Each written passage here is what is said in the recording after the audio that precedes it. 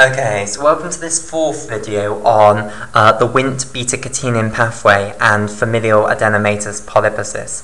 So, okay, let's talk about familial adenomatous polyposis then now, which is a form of hereditary risk for cancer. So, in fact, actually, I'll get a new piece of paper and we'll do it on there. Okay, I don't want them to be squashed into that little space. So now we're talking about familial, familial uh, adenomatous polyposis, uh, which is often abbreviated just to FAP. And sometimes people will actually call it familial adenomatous polyposis coli. So you might also see it with the coli on the end there. But the real name is just familial adenomatous polyposis, and it's often abbreviated to FAP. Okay, right. So what happens in familial adenomatous polyposis? Right, well, basically, um, you get mutations, loss of function mutations, in the adenomatous polyposis coli gene. Now, you have two genes for adenomatous polyposis coli, so I'll show them here. Here are the two genes for adenomatous polyposis coli. Here's one, let's say that's the paternal one, and here's your maternal one. So you have two homologous chromosomes, and uh, those, therefore, you have two copies of this gene. Okay, so you, you have two copies. So this is the APC uh, gene, and then there'll be another one on this paternal chromosome over here. So this is the APC, or adenomatous polyposis coli gene. Adenomatous polyposis coli gene. Okay, right. So, um, what happens in familial adenomatous polyposis is that in the germline, you are missing or you have a loss of function mutation in one of these, basically. So, uh, from birth, absolutely every single one of your cells, on one of the chromosomes, the adenomatous polyposis coli gene is dysfunctional. It is not working. Maybe it has been deleted. Maybe it has got a mutation in it that means that it no longer works. Maybe the promoter region is just silent and it's not being expressed at all. Whatever the reason, you have got loss of function of one of your uh, genes for adenomatous polyposis coli. Loss of function. Okay, so you have one hit to these to these two genes in the in the germline basically. Now, let's think about what's going to happen to a cell if it loses both of these genes, basically. So, let's go back to our pathway and see where adenomatous polyposis coli was important. It was basically one of these constituents of the beta-catenin destruction complex. So what would happen to your cell if you had absolutely no adenomatous polyposis coli? Well, you would have no functional beta-catenin destruction complexes. So, you wouldn't be able to uh, target beta-catenin for ubiquitination, and therefore beta-catenin wouldn't be destroyed. So beta-catenin would just continue to be made in the cell, and it would build up and up and up. So you would have continuously high beta-catenin levels. And what have we seen that high levels of beta-catenin do? Well, it drives the cell firstly into the G1 phase by producing uh, proteins involved in DNA replication, and then it actually is involved in driving the cell from G1 into the S phase by uh, producing cyclin D. So basically, high beta-catenin means you are replicating your cell very fast. Okay, so, if you have no functional adenomatous polyposis coli, you are going to get excessive cell division. So basically, this gene is involved in stopping cell division. Therefore, it is an, another example of a tumor suppressor gene. Now, tumor suppressor genes obey the Knudson 2 hit hypothesis, basically, tumor suppressor genes, because in order to actually get uh, the formation of cancer, you need to have lost function in both of them, basically. It's no good just losing one. You're not going to get cancer if you only lose one, um, because the other one is still there, and that's still functional, and that will still be uh, contributing to the beta-catenin destruction complex and keeping beta-catenin low. So, you need to lose both. and that's the Knudson two-hit hypothesis. So a single cell um, needs to um, have two of the tumor suppressor genes um, lost, basically, in order to actually start oncogenesis. So that's the Knudson two-hit hypothesis. And that makes it quite rare in, in uh, normal people, people who have uh, from in their germline have two healthy adenomatous polyposis uh, coli genes. Because if you have two healthy genes then you need to get a cell which get, is unlucky enough to get a mutation in both of these genes that causes it to lose its function. Now that's pretty rare. Whereas if you have got one of these lost in from the germline then all you need is um, is a single mutation in a single cell. So basically all the cells of your body already have this first mutation. So all that needs to happen is this second one needs to get a loss of function mutation and then you've got a cell which has no functional adenomatous polyposis coli genes. And that's going to lead to oncogenesis basically. Okay, so in the case of familial adenomatous polyposis, what you have is a lost um, a lost APC gene in the germline. And basically, that means that all your cells of your body only need to get a single somatic mutation. So you don't, you're not lucky, you don't obey the Knudson 2 hit hypothesis. You only need a single hit, a single somatic mutation, basically, in order to actually get full knockout of APC in a single cell, and then that cell will divide out of control, basically.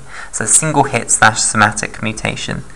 Okay, so that is why um, familial adenomatous polyposis uh, patients have incredible risk of developing cancer because in their cells, all of their cells of the body, they already have a single mutation in this APC gene, uh, in one of their APC genes, and all they need is a second uh, mutation in their uh, in that other APC gene, and that you know you've got trillions of cells. The probability that in one of them it's going to happen is not too um, is not unimaginable, basically. So you are more likely that it's going to happen, and basically the first place it starts to happen is in the colon. So these people get colon cancer, colon, uh, and basically what happens is in the colon loads of the colonic epithelial cells, so let's say here's a colonic epithelial cell, basically they get mutations in their second and only functional APC gene, so they lose all APC. And what that means is that they start uh, dividing out of control because beta-catenin goes up in these cells, so beta-catenin goes through the roof, and they start dividing. So you get these huge sort of masses of um, colonic epithelial cells. And those masses, so I'll draw loads of colonic epithelial cells. So you get large, great masses of colonic epithelial cells, basically. Okay, so you get a huge, great mass of colonic epithelial cells on your colon. A, a, a visualizable lump, a seeable lump with the naked eye. And this lump is what is known as a polyp and you get these basically happening all over your colon because basically loads of the colonic epithelial cells start getting this second mutation in their APC, in their only functional APC gene, and that causes them to start dividing out of control basically. Now, I want to stress that this is a tumor. It is a tumor. A polyp is a type of tumor. A tumor is just a uh, a growth basically, but it is not yet cancer because all that's happened is that these cells are dividing out of control. And this is an important concept. To be cancer, you have to be more than that. At the moment, uh, this is a benign tumor. That's a good word to know. Basically, a tumor, just a mass, a mass of cells is not cancer. It's what's known as benign tumor. Cancer is what is known as a malignant tumour. And what's the difference between a malignant tumour and a, a benign tumour? Well, basically, malignant tumours have to be invading and destroying the healthy tissue, and they have to also Yes, that's the that's the definition. They have to be invading and destroying healthy tissue. So they have to be destroying the healthy bits of your body. Whereas a benign tumor, it can just sit on the side basically. It, it's dividing out of control. But if it's not destroying other healthy tissue, then it's a benign tumor as opposed to a malignant tumor. So the definition of a malignant tumor is that it's invasive and destructive basically.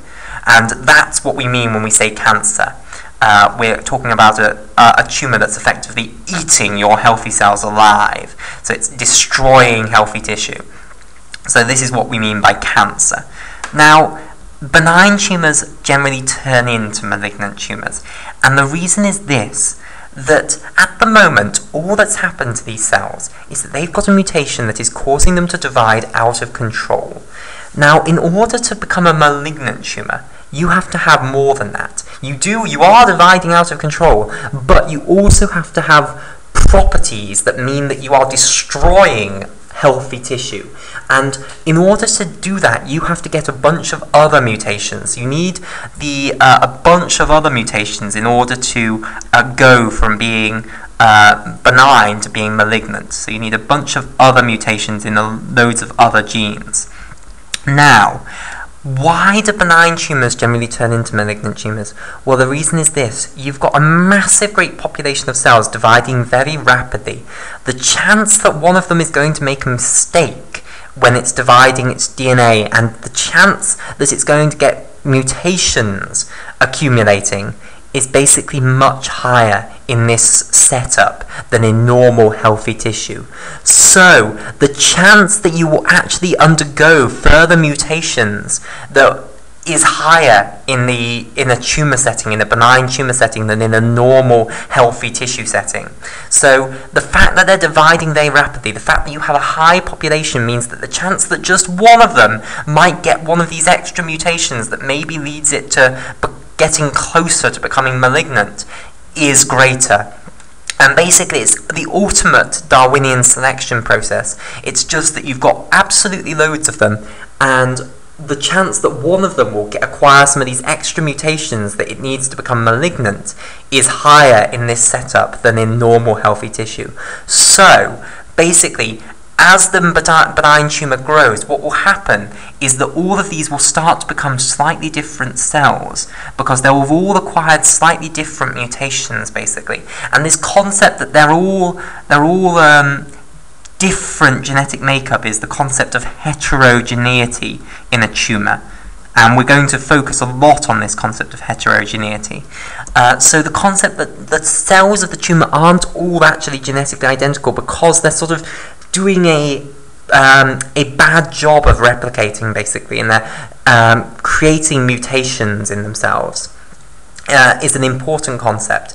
And what eventually is going to happen is one of them is going to get the right combination of mutations that means that it can be invasive and destructive, and then it will take over and it will divide and divide and produce loads of other ones that have these same mutations, and that will then lead to the production of a malignant tumor. So that um, development process from a benign tumour to a malignant tumour is a very important concept, basically.